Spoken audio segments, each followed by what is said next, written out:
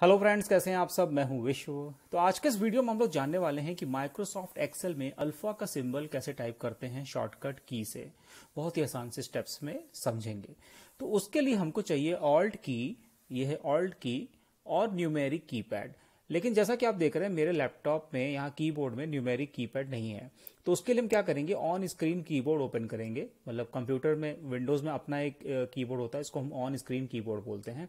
तो उसको ओपन करने के लिए यहाँ लेफ़्ट हैंड साइड में देखिए, आपको यहाँ पे सर्च का ऑप्शन मिलता है। ठीक है? यहाँ पर हमको टाइप करना है ओ एस के तो यहाँ पर हम ओ एस के टाइप कर देते हैं और ऊपर देखिए ऑन स्क्रीन कीबोर्ड का ऑप्शन आ गया। इस पर क्लिक करते ही ऑन स्क्रीन कीबोर्ड यहाँ पर देखिए ओपन हो जाएगा। अब यहाँ पर आप ये देख सकते हैं ये है न्यूमेरिक कीपैड ठीक है?